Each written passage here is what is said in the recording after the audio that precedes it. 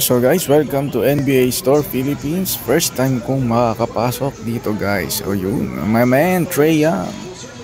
Para iso ng basketball shoes dito guys. Ito yung latest ni Steph Curry. Curry 11. Ito naman guys, 40% off. Nike Cosmic Unity 3. Baka trip nyo. 40% off yan guys. Ito pa isang bago guys.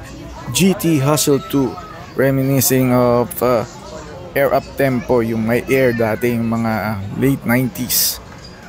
Ito pa yung isa guys. Yung kay Westbrook. Jordan 1 Take 5. Ito yung latest na Air Jordan talaga. Jordan 38. Meron din silang mga Funko Pop guys sa mga players ng NBA. Baka trip yung uh, mag-collect.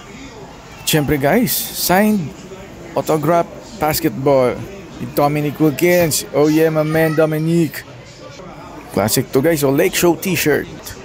91 All-Star jacket. Side by side sa Michael Jordan Chicago Bulls. And Michael Jordan jersey. Iba't ibang klase guys. White, red. Pati All-Star niya. Andito lahat. Siyempre, yung paboritong player, magpapauli ba? Meron din tayo niyan, Dominic. Yan o, Atlanta Hawk represents. Bala ko sana bumili guys, kaso medyo mahal. Nauwi ako dito sa 50% discount nila. Ito, USA Basketball.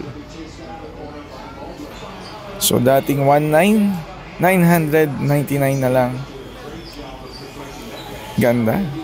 Ayan guys, oh. Legit yan. 999. So, binili ko na. For the reals, ika nga. So, yan. At yan na muna guys. That's my experience here sa NBA Store, Philippines.